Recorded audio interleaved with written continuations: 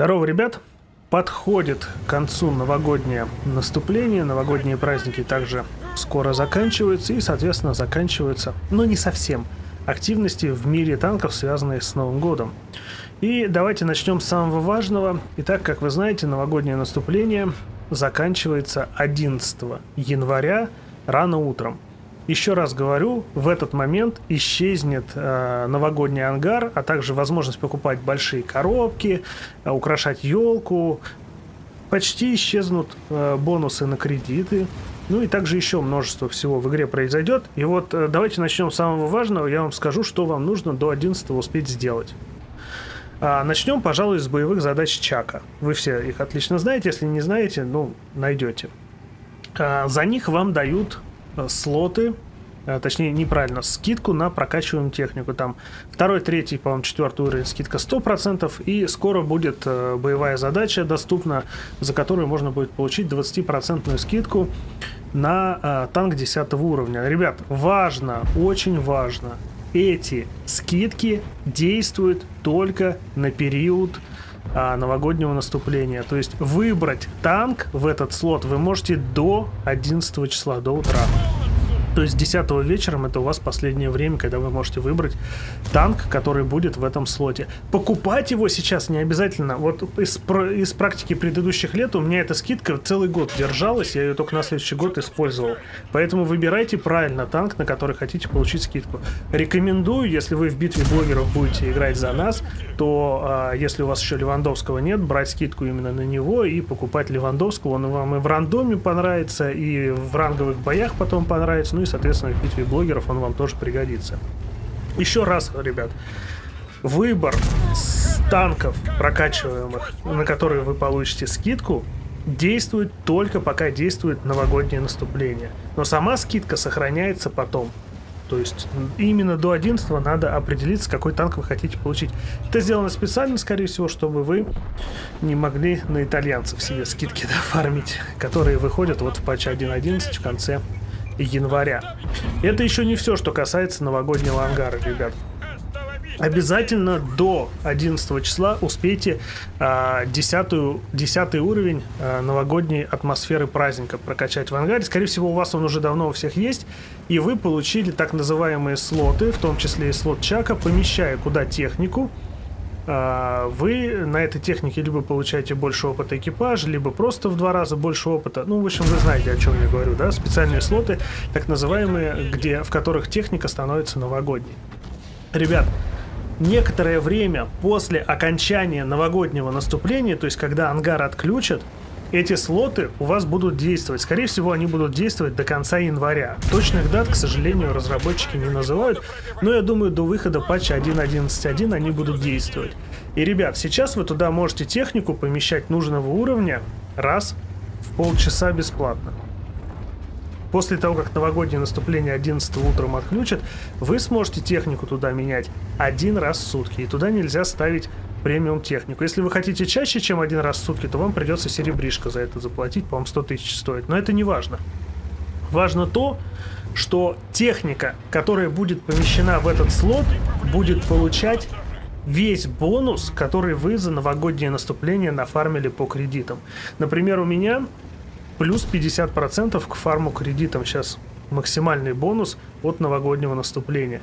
Соответственно, он у меня останется на тех танках, которые будут стоять в этом слоте. Я их могу сейчас поставить, могу поставить после того, как 11 числа новогоднее наступление закончится, и раз в сутки смогу менять в этих слотах танки бесплатно. То есть, если я захочу на какой-то машине поиграть, я обязательно ее туда ткну, и у меня она будет на 50% больше фармить.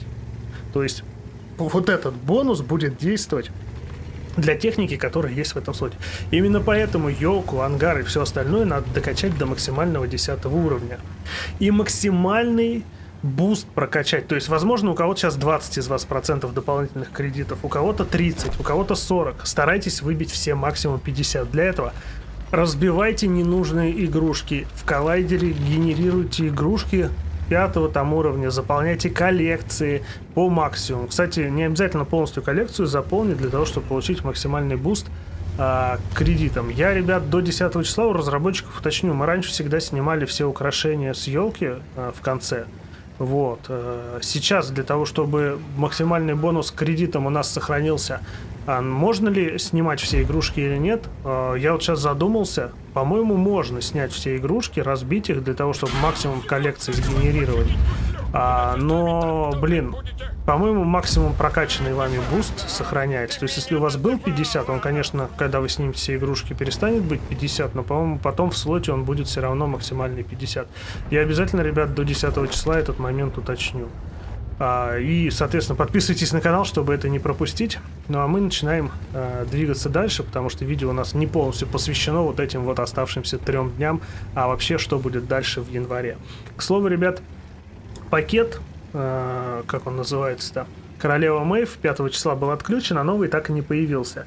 При этом есть предположение, что его уже подвезли, потому что а, там есть декалька, которая называется типа «До свидания, 2020 год» или типа «2020 год, давай, до свидания», вот что-то такое. Вот, то есть, ну, он явно приурочен к прощанию с 2020 годом. Вот, и если он будет, то он должен быть в январе, ребят. Так что ждем, я думаю, ближайшие дни его.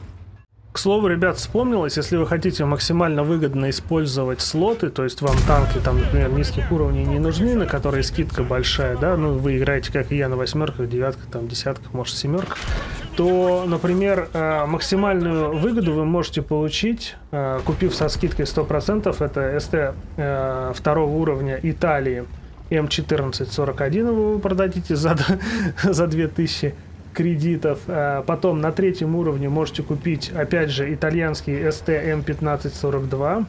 Продадите его а, со скидкой а, за 22 700, то есть нафармите это в плюс себе.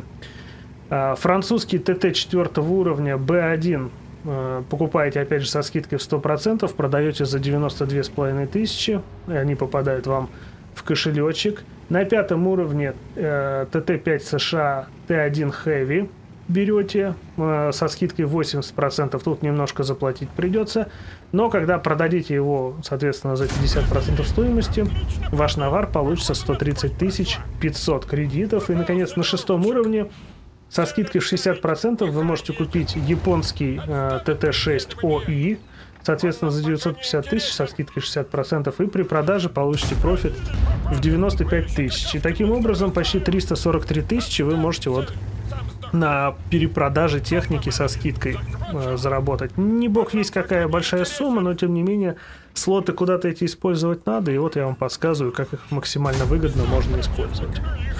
А, значит, ребят, после окончания вот этой всей новогодней кутерьмы 11 числа начинается у нас эпоха возрождений. Это ивент на глобальной карте. Чифа, как я и говорил вам, уже в этом году не будет.